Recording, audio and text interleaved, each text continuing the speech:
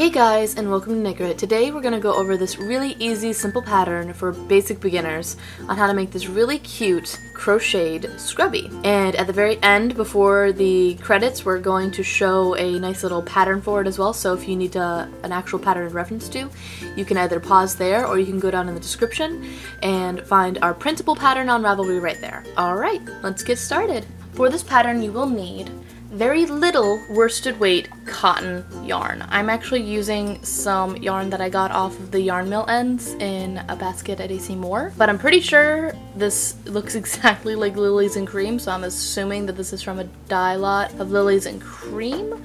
So that's basically what I'm using right now. Also, you will need a darning needle to sew in all your ends.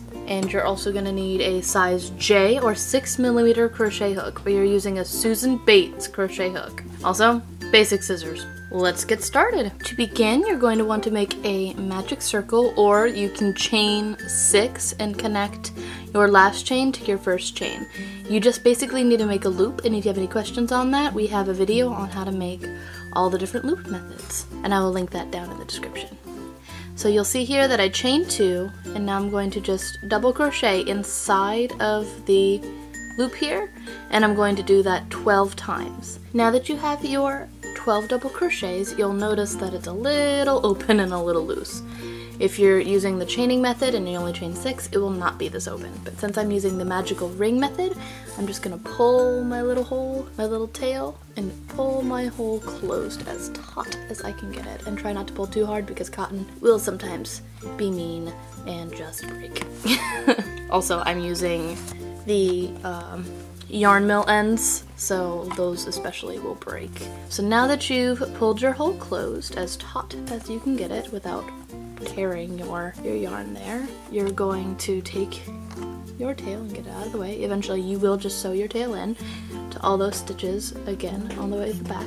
Okay, so now that you've closed your hole, you can now go back into the very first double crochet that you double crocheted and you can place two double crochets within that one. So here we're just gonna put one, I'm gonna wrap that way, and a lot of people will try to connect to the beginning. I don't see the point. These are just quick little facial scrubbies that you won't be able to really see the intricate stitching on it anyway, as intricate as it is. And when you sew in, it'll be fine. There's a little tiny hole, but not any more than anywhere else in the pattern. And you're going to want to continue putting two double crochets in every single one until you get back to the beginning and you'll have 24 stitches. So I'll see you there. So now that you have finished your two double crochets on every single one, you should have 24 stitches on your piece right here, all the way along here. And next up, we're going to want to take our yarn and we're going to, if this is the size that you want your scrubby, then I would say stop here and slip stitch one away from where you are. So I would skip that stitch and slip stitch into the next one because I think that makes a smoother edge. But these ones are a little bit larger and we're going to just double crochet one into this one.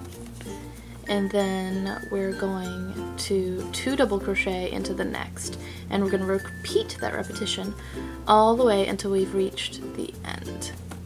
And when we're done with that we're going to slip stitch not this one, but the next one away. And at the end of this one, you should have 36 stitches on your piece here. And all that we're doing is we're increasing all the way around. So if you want a larger circle than this, double crochet two and then increase on the third on the next round. Double crochet three, increase on the fourth, and continue until it's the width that you want it. I personally just like these little three inch uh, wide little tawashis for facial scrubbies, but you could turn this into a lot of different things. So that's what I've been doing and I'll see you when this is all done. Now that we have gotten it to the size that we want it to be, we're going to skip this next one and we're going to slip stitch into our second from that stitch. And I like to do a little chain and then I pull everything through it.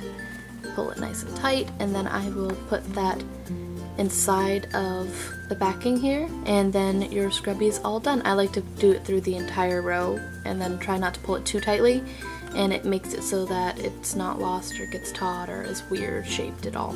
and it keeps your tail from unraveling, which I really like. And once you're done with your slip stitching and all your tails are put away, you are all done with this really cute little facial scrubby. If you like this video, be sure to be on the lookout for our next video, which we're going to be going over how to make this awesome epic little loofah here. It's actually a surprisingly simple pattern and it comes with this nice little chain here so be sure to be on the lookout for this awesome giant loofah pattern, which you can use in shower poofs and loofahs, and I'm sure you could do all kinds of different things with it.